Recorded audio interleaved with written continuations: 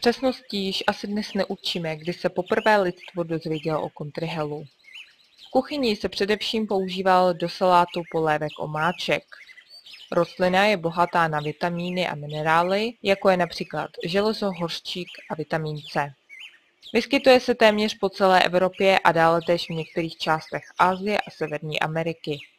Charakteristickým znakem, dle kterého ji poznáme, jsou určitě její listy, které bývají někdy během ranních a večerních hodin pokryty rosou. Lidé byli vždy těmito kapičkami fascinováni, což dokazuje i celá řada lidových názvů. Tradovalo se, že mají prý omlazující účinky, takže se velmi často používaly v královských palácích při zkrášlujících rituálech. Alchymici neopak věřili, že v sobě ukrývají nadpřirozenou moc a tak je využívali při svých pokusech. Díky tomu nejspíše vznikl latinský název rostliny alchemila. Ať už to bylo, jak to bylo, faktem zůstává to, že se rostlina s úspěchem užívá již od dávných dob na nejrůznější neduhy. Kontrihelu se nejčastěji přezdívá ženská bylinka.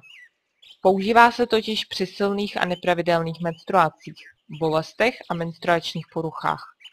Marie Treben připomíná, že pomáhá i v případě její absence. Když se mladým děvčatům i přes lékařem předepsaný lék nechce dostavit měsíční perioda, tehdy vše správně usměrní kontrihel spolu s řepříčkem obecným. Dále se používá při výtoku a obtížích ženských polovních orgánů.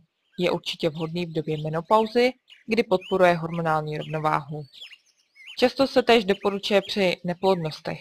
Rostlina je samozřejmě velkým pomocníkem během těhotenství a kojení.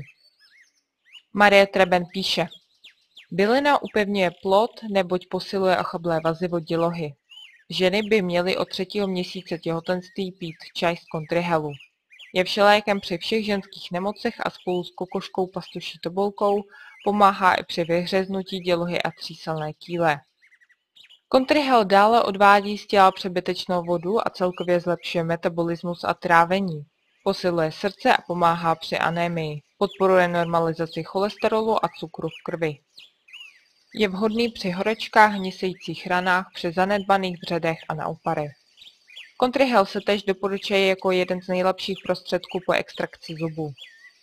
Odstraňuje slabost svalů, končetin. Bylinka též kladně působí na nervovou soustavu a má celkově uklidňující účinky. Existuje několik forem, jak kontrihel užívat. Příprava čaje z kontrihelu je velmi jednoduchá. Vezmeme jednu vrchovatě naplněnou lžíci bylinek a dáme ji do 250 ml vody, spáříme a necháme krátce vylohovat. Obklad zase připravíme tak, že příslušné množství čerstvých rostlin umyjeme a rozmělníme, následně přeložíme na postižené místo. Pro celkovou koupel bereme 200 g sušených nebo několik dvouhrstí čerstvých bylinek, dáme je na noc do nádoby se studenou vodou, následující den vše zahřejeme a tekutinu přiléjeme do koupele. Příroda nám nadělila již vše, co potřebujeme ke zdravému životu. Stačí toho jenom využít. Přejeme vám hodně zdraví a příjemný den.